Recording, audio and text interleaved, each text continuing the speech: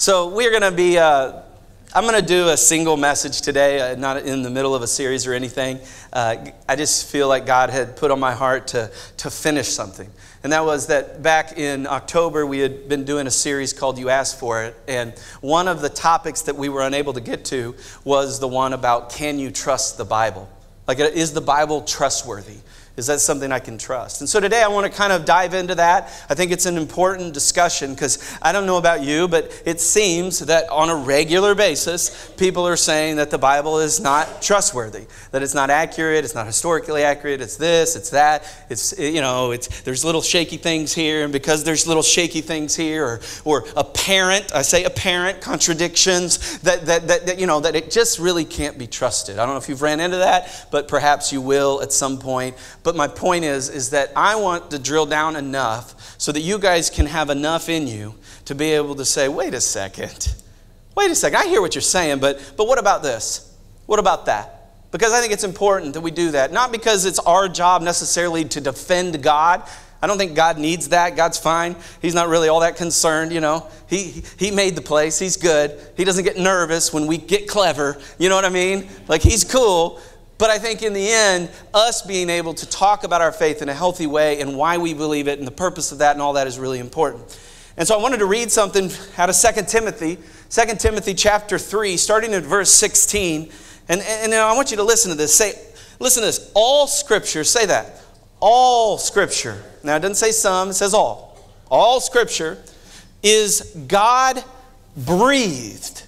Get that. It's God breathed and it is useful. It's not, it's not something you just sit on your shelf, it's actually useful. It's something that can help you in your life if you'll grab hold of it. So it's useful for teaching. So that's what we're doing here. Rebuking. That's when someone comes to you and says, hey, you shouldn't do that. and you're like, wait a second, right? And you get mad and offended. No, you guys wouldn't do that. You just say, I receive it. Thank you very much. Thank you. Thank you. For correcting for training in righteousness, so that the servants of God may be thoroughly equipped for every good work. So that's why it's there. But the thing that I want you to see is that it says that all scripture is what? God breathed. So often we focus on the vehicle at which it came to us. We focus on the men, the scribes, the people that wrote it down. And we look at that and we say, well, because man was involved, it must be messed up. You know, I think that's a reasonable conclusion. But the Bible very clearly says is that God breathed it. So if God breathed it, then we have to understand that there's something happening here that isn't just normal in terms of how a book gets written. There's something different about this book. And so I want to spend a little time talking about what's different about it and why it's important for us because there's so many people out there that want to, to, to, to, to tear it down, to, to dissect it, to do all kinds of things to get you convinced of something. And that is that this is just a regular old book. And if the enemy can get you convinced that this is just a regular old book, do you think that has any impact on your faith? Do you think that has any impact on what God could do in your life? If you simply outright just reject what He says is His Word, I think the enemy would be busy about that. Matter of fact, I think there'd be, the enemy would be raising up all kinds of people to get you convinced that it's not God's Word. So, today we're going to learn how we can trust the Bible and we can trust that it really is helpful to us and that God breathed it. Because, see, your Bible, I believe, can be fully trusted. Listen to this in Matthew 24, verse 35. Heaven and earth will pass away, but my words will never pass away. Get that. My words will never pass away. In other words, everything in this world will go back in the box. Everything in this world is going to break down at some point. But what God's word says is that my word will remain true. It's not going anywhere. It's not, even if people say it's not real, it doesn't affect whether or not it is real. It's stationary, it's strong, it's something that we can build our life on. It's not going anywhere. It will never pass away, is what the Gospel of Matthew tells us. I think that's a big deal. Now, now in, in, in theological world, there's a, there's a term called uh, theological word? It's like a store we go to, theological world, right? And so if you're going through theological world and you ran into a section called apologetics, Yeah, apologetics would be a section is, that really is about defending the faith. Making sense? And so you're defending the faith. That's what apologetics is. Now, I'm not an apologist. I, am probably not smart enough to be an apologist. But there are some men and women out there that are really good at this. And I'll just recommend one in particular. His name is Josh McDowell. And so if you're ever just wanting to kind of do some exploration in this area, the defense of the faith, uh, he's a fabulous person to look up and look after. Uh, he's got a book called An uh, Evidence That Demands a Verdict. And so if you ever want to read it, it's good. Or just have it as a resource. Like it's one of those books that you like you run into some question you didn't know about. It's probably in that book. You know, and, and just have it on your on your on your uh, bookshelf, and, and it'll be there for you. It's just a reference point to help you in your journey. And so, a lot of the content today is coming from those giants. You know, uh, I'm not I'm not I'm not that guy. You know, because I mean, uh, I, I matter of fact, I think you should be leery of new ideas when it comes to the Scripture. Because, see, see the, the faith is based in something very real, very historic. And it's been going on a long time. Matter of fact, I think the times the church gets in the most danger is when it just gets clever. we get too clever, you know, and we start saying, well, maybe we could do this with it and do this. And I'm not against changing models. I'm just not, I'm absolutely against changing our mission, addressing those things that are core. And so that's what you get with apologetics is these men and women down through the ages that have defended the faith so beautifully. And so Josh McDowell's a good one. I think one of the better Bible teachers in our culture right now is Rick Warren. He has a whole thing on this. And so if you're ever looking for like a Bible study, he has some of that stuff and it can help you. So I'm just telling you that some of the stuff, I'm giving you the condensed version of some of that stuff. So I, and maybe I'll put a little me in there, a little spice, just to add it, okay? Okay? All right, I, just want to make sure you're with me. I just want to make sure. So, today we have seven reasons, seven reasons that your Bible can be trusted. And some of you went, Seven? Come on. That's too many. Like, here's the deal I don't know if I'm going to get to all seven, all right? I'm just telling you up, in, up front, I'm probably not going to get to all seven. But uh, I, I want to give you as much as I can today. Because this is like a teaching series. You know, it's just a little teaching sermon. And, and so, are you guys ready? You got your brain on? Okay, you're hooked in? All right. So, I'm going to give you seven reasons, maybe. Number one, the first one is it's historically accurate. Did you know that? Do you know the Bible's historically accurate? Now, I hear people say this all the time. Well, how do you know that? I mean, I mean, what about that fish? The swallow that dude. Is that, is that real? Did that really happen? Do you really believe that? I mean, do you believe in superstitions, Pastor? Well, oh, hold on. Look, I understand that there are things in the Bible that seem crazy. They seem like, what? How in the world could that happen? I'm not saying that I get that, okay? But to somehow dismiss them outright, to say, oh, well, that didn't happen, that's, that's not possible. Okay, let me, let's back that train up for just a second. If we can believe that God created the world, if you can get to that point, if you can believe God created it, you don't think He can make a fish swallow somebody? I mean, I'm just saying, I know it's not normal. I know that it, I get it, but, but it's at least possible. If you believe in a supernatural God, it's at least possible. So, so I, you know, I won't spend too much time on that. But I believe that there are so many things in the Bible that are historically accurate, we have to at least give it its due. Psalms 34, I'm sorry, Psalms 33, verse 4. Listen to this. For the word of the Lord is right and what? True. True. It didn't say untrue, it said true. And so when you read the scriptures, you can trust that it's true. Now, there, uh, there are some proofs to this. And so if you are uh, a historian, now historians have come up with three things that are essential for it to be historically accurate. I mean, these are important. And so, so in, just in the discipline of historian world, right, that's, these are the things that they say have to be there in order for something to be historically accurate. So number one is they have to have eyewitness accounts. There has to be eyewitness accounts that say that something is historical. Guess what the Bible is? It's eyewitness accounts of people seeing things and, and being there and watching them. And so, if like, just look at the four gospels. You have four different gospels that are saying the same thing. And they're all coming from a different perspective, but they're saying thematically the same thing. Which, if you study probability, there's not a good chance that's going to happen. It wasn't like they were sitting in the same room saying, Did you say and? Yeah, I said and. Did you say but? Yeah, I said but. You see what I'm saying? They didn't, they didn't do that. And so there's a, there's a sense that the thematic even the thematic part of that historical accuracy is significant. So that's number one, is there's eyewitnesses. Number two, it's recorded and copied with extreme care. I believe that God put the, the, the revelation, the word, the breath, the breath of God, and gave it to the Israelite nation for a reason. Because not only were they his chosen people, they are meticulous about what they do.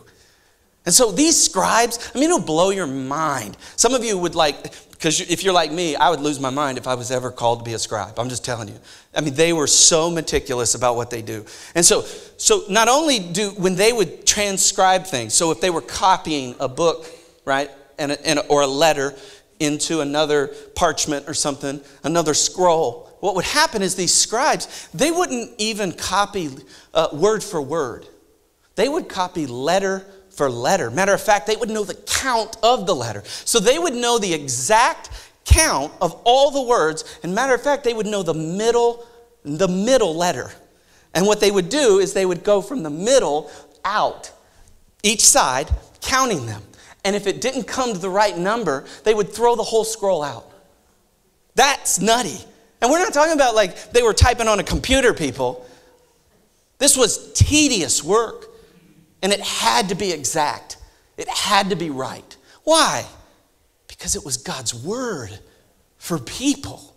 It had to be.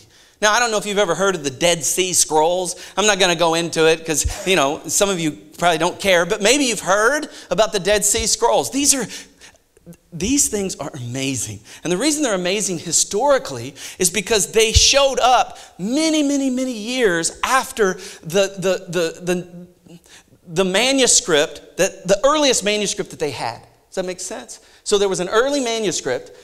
These things showed up many, many years later. And what's cool about it is they pull them out of a cave, right? And, and, and you have the scroll of Isaiah. And what they do is they start to look at it, and guess what they do? They start looking at the number. And they go to the middle. And they figure out that that one, which is many, many years later, is exactly correspondent, word for word. Every bit of it is the same as the earliest manuscript that they had. Guys, that isn't a coincidence. There, I, I'll get to the math in just a second. That's just absolutely mind blowing. And so it's so important that you understand that our faith is based in history, it is accurate. And so, eyewitness, recorded copies with extreme care, and then number two, archaeological confirmation. So, in other words, it happened. There's results from it. Like, wow, a pot. I see that pot, and that pot was over here in the book. You know, I'm, you know, it's not a pot, but you get my point. That there's a historical piece. Like, here, I'll give you one. One of the big arguments about the inaccuracy of the Bible was that, that and it was there for a long time, and, and many people would say that, well, that proves it, is that there was this group of people called the Hittites. Because there was no historical act, there was no historical evidence that the Hittites had ever, ever lived. But guess what?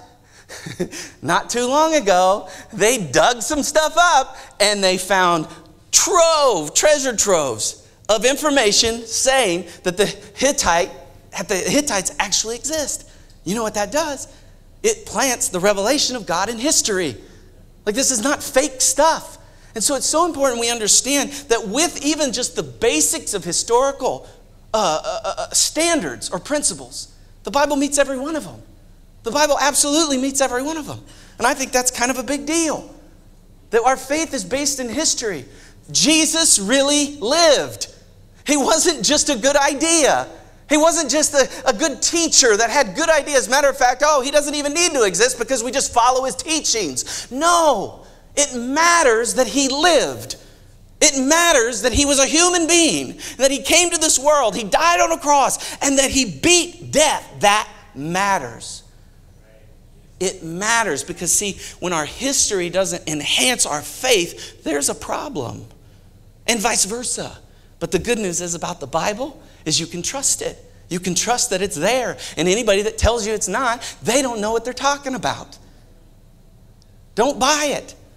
Because there are some really smart men and women that have defended the faith for many, many, many years. And just because somebody becomes a bathroom prophet in your life doesn't mean they're right. Some of you get that? Bathroom prophet? All right, I didn't know if you got it. so it's historically accurate. Number two, it is scientifically accurate. It's scientifically accurate. Now, you say, well, how is that possible? Well, God created the universe, He created the universal laws. And so, whatever science is discovering, they've been discovering what God did. They've been discovering the universal laws that were set up by God. And now here's the thing I know the Word of God isn't changing, it's always consistent. It's the same as it always has been. But guess what does change? Science. Science changes all the time. Now, and a matter of fact, if it's, if it's good science, it's willing to change. Good science is willing to change based on the evidence in front of it. And it's the people that, that give these outlandish hypotheses that have no uh, uh, support in scientific method that are the problem. And so it's important we see that science is changing all the time, but the Word of God is not. And if you say, well, how is that possible? Well, go back and read your third grade science book. I can guarantee you it's changed. Guarantee it. And so science is always changing. But listen to this. Listen to this in Psalm 148, 5 and 6. I love this. Watch this. Let every created thing give praise to the Lord. For look at this. He issued his command, and they came into being. I like that. God creates out of nothing. There's this fancy word in Latin, ex nihilo. Isn't that good? It, it, it, it means it, it came out of nothing. It didn't come from something. Science comes from something. God creates out of nothing. And so you see him saying that it came into being. Then watch this. He set them in place forever and ever. His decree will never be revoked. You can take that to the bank. That is something you can build your life on. You don't have to update the Bible. The Bible doesn't need to be updated. It's fine just the way it is. Science is always changing, always being updated if it's good science. It's always being adjusted. But the Bible, the Bible is not a science book. It was never intended to be a science book. it has no interest in being a science book. Matter of fact, back in the 18, 1800s or, or 1861 in France, lots of crazy things were happening in France, all right? But, but, but it was an age of reason. But in 1861, uh, the French um, the French Academy of Science put out this article, and this was the article 51 incontrovertible, God, that's such a hard word. 51 incontrovertible scientific facts that prove that the Bible is wrong. Well, wasn't that nice of them? Yeah? The cool thing is, is that all 51 of those incontrovertible scientific facts have been incontroverted. I like that. That all, you know, that's my boy. Like, oh, these are incontrovertible. Oh, are they? Yeah, sure they are. But they've been, they've been disproven. You see, God's stuff stays true. God's stuff is real. It's not changing. It's something that lasts. And that's what I love about God. Is I can build my life on that. You know, the, the Bible, I think, says so much about what God has done. And I also think it says uh, a variety of things about science.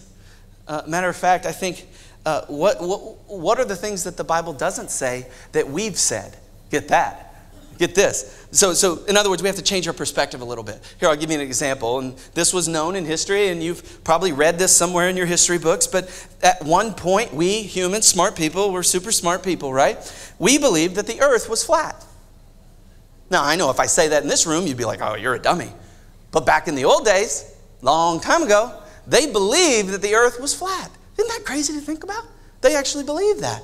But here's the thing, and it wasn't until Copernicus shows up and says, ah, I don't think it's flat. And they're like, hmm, we need to kill him. Because that's usually what happens. You know, somebody has a new idea, we got to kill that guy. He's gone too far, right? But listen to this. Listen to this. This is in Isaiah. This is in Isaiah, which was written many years before. Watch this. In Isaiah, it says this. Um, shoot. Where are you? There it is. Isaiah 40, 22. God sits enthroned above the circle of the earth. Circle of the earth. That word is sphere, where we get the word globe. So while the world was thinking that the world was flat, God was already saying in His Word that it is not. And if we would have just read Isaiah, we would have known. And we could have saved ourselves a lot of trouble.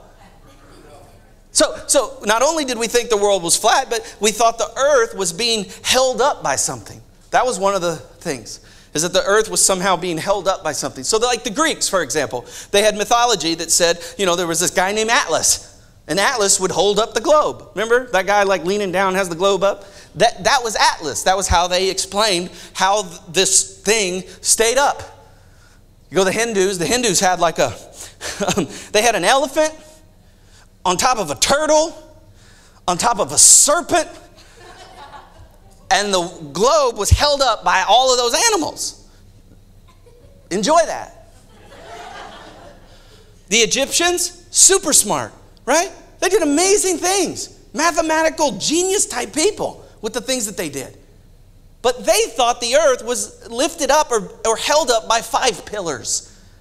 Moses was trained in that. Get that. He was in Egypt, he was trained in that. And when he wrote the first five books of the Bible, he didn't say that. Go all the way back to Job, which is the oldest book in the Old Testament. Watch this. This is what the Bible says. I love this. He spreads out the northern skies over the empty space. And watch this. He suspends the earth over what? Nothing. No pillars, no elephants and turtles, no Atlas. God suspended it. Guys, that's powerful. It's powerful that you know that the Bible's already teaches. If these people would have just read the Bible, they'd have been better off. They'd have been better off. So watch this. Did you know that at one time they thought that they could count the number of stars?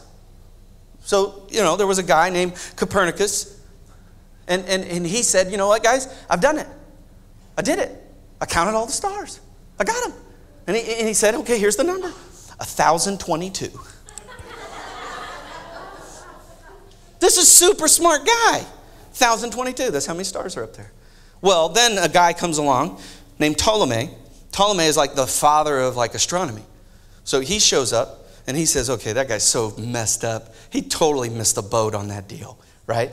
And he says, I've got it, I've got it. It's 1,026. yeah. This is, I mean, these are real things. I'm not making this stuff up. Well, listen to this in Jeremiah 33 22. The stars of the sky cannot be counted.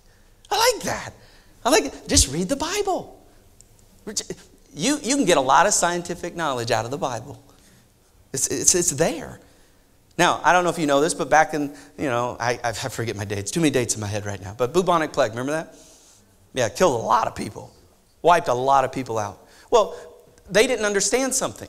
They didn't understand something called contagions. They didn't understand uh, blood. They didn't understand some of those things, right? And so there was a guy, um, how do you say his name? Hypro, Hippocrates. Hippocrates. Uh, yeah, that guy. Yeah, he's, he's an important guy, right, to medicine. But he had something called humoralism, right? And humoralism basically said that there were five things that really affected the human body that needed to be addressed. One was yellow bile. One was black bile, which I don't even know what that is, uh, phlegm, and blood. So these were the things that needed to be addressed. You know, so, so that's why you get something called uh, bloodletting. Remember that in history? They'd cut people and bleed them out because they thought they had to get the blood out of them because the blood was actually what was making them sick. Our first president of the United States was killed because of bloodletting. Like they, they cut him three times, they did it three times, and at the third time he died because they were letting blood because he was sick. He had heart problems. And so they thought, eh, well, we'll just bleed him out. Well, not smart. That's where them leeches come in. Remember, like they put the leeches on them and suck the blood out? Weird. I'm, you're not putting no leech on me. Leviticus 17 11. Watch this. So, the book that no one ever goes to, they try and avoid Leviticus at all costs. Leviticus 17 11. Look at this. For the life of the body is in the blood. It doesn't say you got to get rid of the blood. Matter of fact, we figured out that the life of the body is in the blood, and we do things called transfusions now. You got to get them more blood because if you don't, they're going to die. Matter of fact, they, they've done it in such a way where they, they can replace all your blood at some point. Just, you know, they get it all in there and get some good stuff in there. But the life blood is in there. The life of the body is in the blood. The Bible knew that. Get this. Then watch this. This is even better. When I was talking about contagions and people being quarantined, look at this in Leviticus 13 4. The priest will quarantine, quarantine the person for seven days. Huh. They knew something, didn't they? They knew something. If we would have just read the Bible, we would have probably saved a lot of lives during the bubonic plague. Could have isolated some people. I'm sorry, I love you, but you know, here's some food, but you got to stay away from the healthy people because you're going to kill them. I mean, it's hard, it's hard, but it's true. And the Bible knew it. You know why the Bible knew it? Because, see, God wrote it. God wrote it before we knew, before we understood, before we could even fathom the depths of what He had created, this universe. We, he already knew. And He gave it to us in advance. That's how much He loves us. I like that. Psalms, Psalm 12, 6. Watch this. And the word of the Lord is what? It's, it, it, they're all flawless, flawless yeah. Like silver purified in the crucible, like gold refined seven times. Man, that's good news. It's historically accurate, it's scientifically accurate. And then finally, this will probably be the only one I'm able to get to because I have seven. I don't know if I told you that. I do. But I think we're going to get this third one in. But this third one will blow your mind. It's prophetically accurate. It's prophetically accurate. And that's not just talking about someone saying something to you like, hey, you need to change your life. And they're like, okay. Where they speak a word into your life and you change because. No, this is prophecy at the level that they're speaking the future, that they're, they're, they're predicting the future. Okay? So, so here's, the, here's the thing you got to get there are a thousand prophecies foretold that have already come true. A thousand. That's a lot. But get this 300 of those are about Jesus alone and they were prophesied 400 years before he even existed. That should make you go, oh. I didn't feel like that had the effect in the room. That, that, that should make you go, oh. Yeah, yeah, yeah.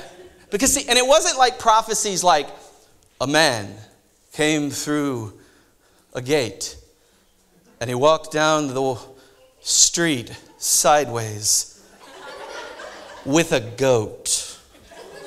No, it wasn't that. It wasn't this, this vague kind of, you know, it wasn't Nostradamus.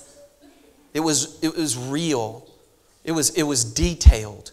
Some of the details about Jesus 400 years before he even existed, it, it will blow your mind. Matter of fact, King David, who lived many, many years before Jesus even showed up, prophesied how Jesus would be killed by crucifixion, and at that time in history, it didn't even exist as a form of execution. That's pretty good, isn't it? I mean, that's pretty good information. That's pretty good. I mean, I, am starting to trust this book a little. I'm starting to think that maybe this book can be trusted. And maybe all the things that people are saying, they may not know what they're talking about. Matter of fact, there was a guy named Peter Stoner, which is an unfortunate name, isn't it? Well, for some of you, you might like it. But Peter Stoner, Peter Stoner was a guy who studied what's called probability. Okay, he studied probability. So what he did is he got these 600 experts in a room, and, and their job was to do all of these experimentations on probability. And so let me explain it to you. So if you have uh, a bowl, and in that bowl you have uh, seven balls, okay, and and uh, nine of those balls are yellow, and one of those balls is red. Making sense? The probability of pulling the red ball out of that would be 1 in 10, right? So that would be the probability of pulling the red ball out of that bowl. And so what they did is they did probability studies on the prophecies of the Bible. And they started to kind of try and calculate and compute mathematically how crazy or how hard it would be for some of these things to actually happen. And so just taking, like, let's say eight, let's say eight, eight of those prophecies, right? If one person one person fulfilling eight of those prophecies is 1 in 10 to the 17th power, which is a big old number. that is a big number. I don't even know what that number is. You know, it's probably a quad, quadruplet or something. It's a big number, people. So, so you have this big number. And again, that's only eight, if eight prophecies were true. I just said a thousand. For 300 for Jesus. Okay. So eight prophecies were true. That is the probability of that actually happening. So let me give you a better context because you're like, wow, that's a big number. Thanks. But here you go. Imagine if that number was calculated in silver dollars. Okay. So we have silver dollars and we need to put those silver dollars in some kind of container. So we're going to pick the state of Texas. All right? So Texas becomes our container. And so we're going to put silver dollars in Texas, and you have to fill it two feet high across the entire state of Texas. Silver dollars. You with me? That's a lot of silver dollars. Okay. You put a guy in a helicopter in Oklahoma, and he's flying south to Texas. And he's just flying along. And at one point, he says, I think this is good. And so he reaches his hand down into two feet of quarters or silver dollars, and he's able to pick the red one out. And there's only one red one. That, my friends, would be a feat. Some might even say improbable, not even possible, right? Only if eight of them, eight prophecies. Now, I'll give you a few more just for fun. But what if a person had maybe fulfilled 16 prophecies? Well, that would be 1 in 10 to the 45th power. That screen doesn't have enough width to hold the zeros that would count. Then watch this. If one person did 48 prophecies, just 48, 1 in 10 to the 157th power. That's a lot of silver dollars trying to find that one. And my point is to say to you, you can trust the Bible. It's possible with God. When God says something, it matters. When people write down God's word and they get it right, which I believe the Bible is right, you can trust it. God doesn't change. He's not twisted or conflicted or worried or, you know, I just don't know what I'm going to do with these people. No, no, no. That's why we can trust the Bible. That's why the Bible is so important. Because, see, how in the world would that, how's that possible? How is it possible for that to even be true? Look at this. Look at this in 2 Peter chapter 1 verse 21. Look at this. For prophecy never had its origin in the human will. It's not about humans, but prophets, though human, spoke from God as they were carried along by the Holy Spirit. See? It's because it came from God. That's why you can trust the Bible. That's why you can trust the revelation. That's why you can believe that it was breathed by God. You can trust it because it's true, because God is true. Look at this in Matthew 26, 56. It says, but, but all of this happened to fulfill the words of the prophets as they were recorded in Scripture. The Old Testament communicated about Jesus. The whole story has been pointing towards Jesus from the very beginning.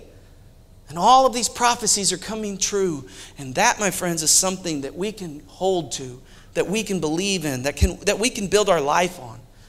Now, there are some prophecies that haven't come true.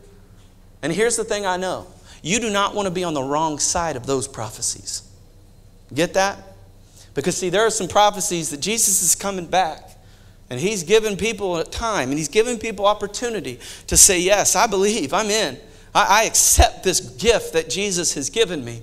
And so we have to understand that there are some prophecies that haven't happened yet. And we have to make sure that we're on the right side of those. But listen to this in, in, in, in, Revelation 22 6. It says, The angel said to me, These words are trustworthy and true. See? Angel just told you, trustworthy and true. The Lord, the God who inspired the prophets, sent his angels to show his servants the things that must soon take place. So there have been things that have taken place, and there are things that will take place. And our job is to get it right. And the way you get it right is you finally say, you know what? I believe this is the Word of God. And I believe this story is for me. And I believe what Jesus did on my behalf is for me. And I need to put my faith and trust in that because this stuff's real. This is not some guy sitting in a room making stuff up. This isn't like some guy just found a book under a rock somewhere. Or you know what I'm saying? A lot of those cults, that's what happens. The guy found it, you know, like Mormonism, for example. That guy was sitting out under a tree one day and came home with a book. Nope. I'm out. I'm out. I'm not into that. This, my friends, has been here a long time. And it's been proving itself true over and over and over and over and over and over again. Now, here's the deal I don't have much more time, but, but I do want to say this. I believe this 100%. I think the Bible teaches it is that Jesus trusted the Bible. He trusted the Old Testament scriptures very clearly. Even before the New Testament was even written, he was quoting from it, he was, he was sharing about it, he was telling people how he was the fulfillment of that. And so I, have always said this look, if you're going to trust somebody, you might as well trust Jesus. You know what I mean? Like if Jesus is telling you something, you should probably like, that's probably pretty good. I'll take that. I mean, just think, I would rather be wrong with Jesus than right with the world.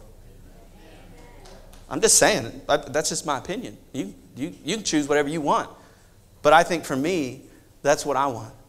I believe that He is who He says He is. He's done what He says He's done, and He will do what He says He'll do. I believe that 100%. And I hope that becomes the story of your life. But I want to I want to put that uh, the Bible quote up. The Bible is the most despised, derided, denied, disputed, dissected, debated, outlawed, and destroyed book ever in history. Ever. But here's the deal still standing. Still standing. Everybody and their dog has tried to put it down, but it's still there. And it's still bringing truth. And it's still right. And it's still real. So that's why you got to see it. That's why your history matters. It helps you see that stuff. When everything else is changing, like in our world, it changes so fast. Our world changes so quickly. There's a new idea that just pops up here, and a new idea, and a new idea. But the scripture helps to ground us in something that's real, helps us to see what's really real.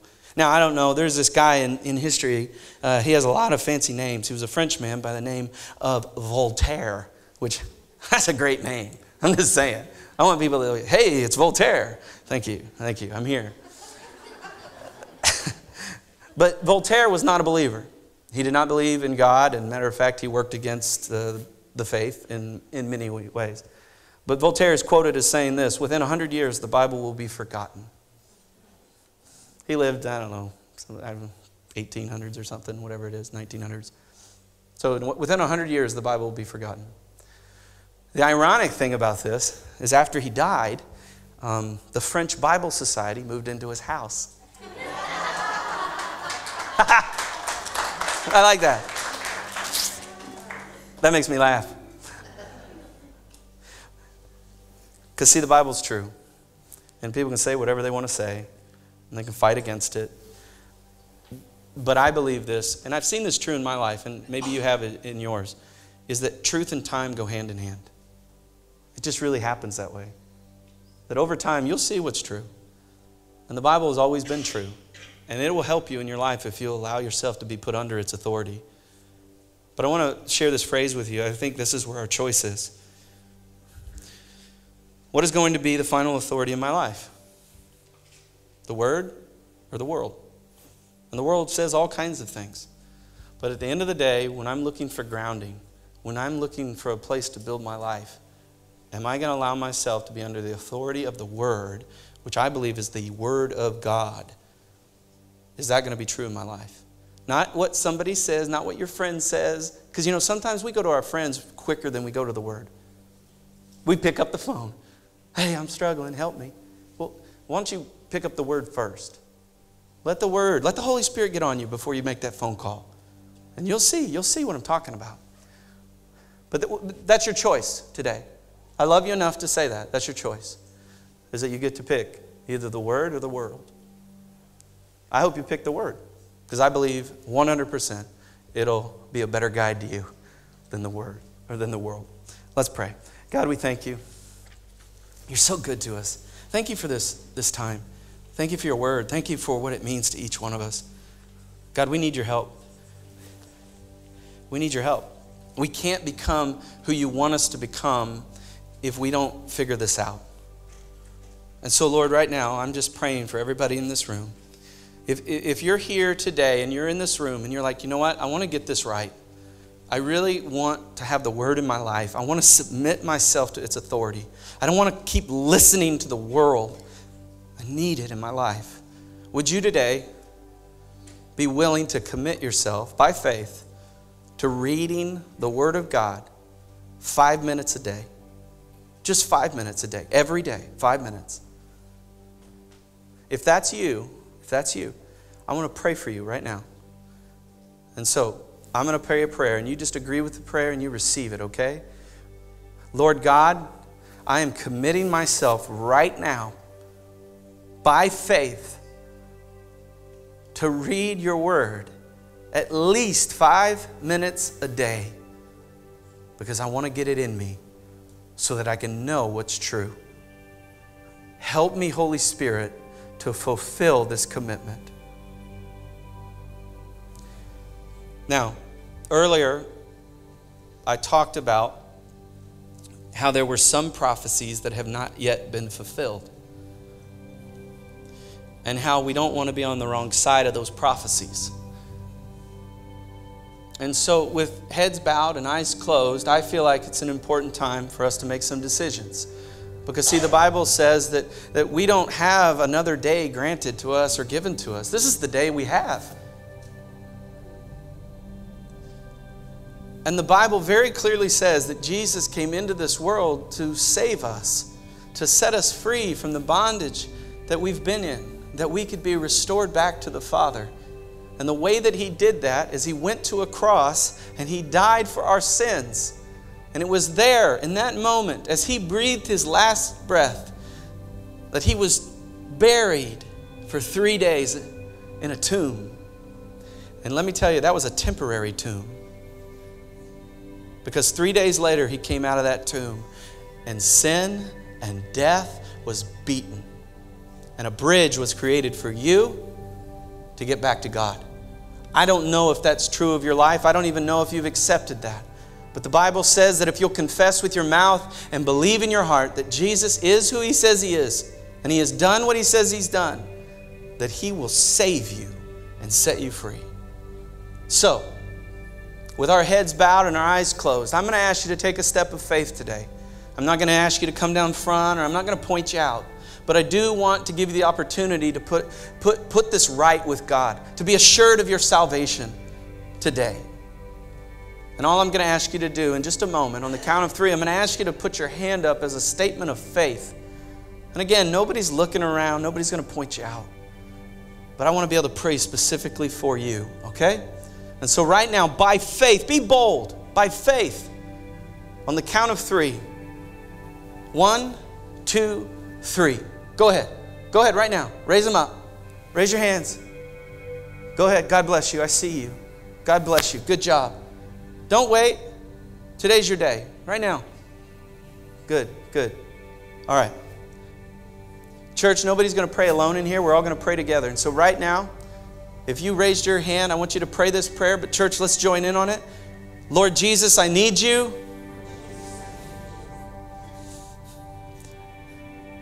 I'm a sinner in need of a Savior. Save me today. I surrender myself to you. Be my Lord. Change me from the inside out. Give me a hope and a future in you. In Jesus' name, amen. Amen. Church, let's celebrate those that made decisions. I'm so proud of you.